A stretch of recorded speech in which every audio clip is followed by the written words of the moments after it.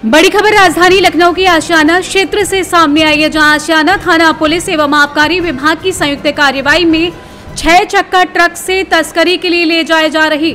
145 पेटी अवैध शराब की गई बरामद। आपको बता दें कि अवैध मदिरा तस्करी की रोकथाम के लिए रमाबाई पुलिस चौकी चौराहे के पास आशियाना कोतवाली प्रभारी निरीक्षक छत्रपाल सिंह के नेतृत्व में एसआई अमरपाल अग्निहोत्री द्वारा पुलिस टीम एवं आबकारी विभाग की टीम के साथ चलाए जा रहे चेकिंग अभियान के दौरान ये बड़ी सफलता हाथ लगी है।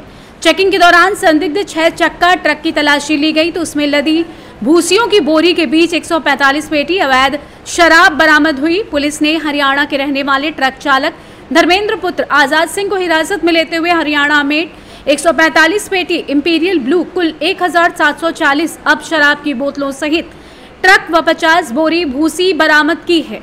ट्रक चालक से पूछताछ के दौरान चार अन्य शराब तस्करों के नाम सामने आए हैं, जिनकी गिरफ्तारी हेतु पुलिस ने जाल बिछाना शुरू कर दिया है। शराब की बड़ी खेप हरियाणा से तस्करी के लिए ट्रक में भूसी की बोरियों के बीच छुपाकर बिहार ले जाई जा रही थी।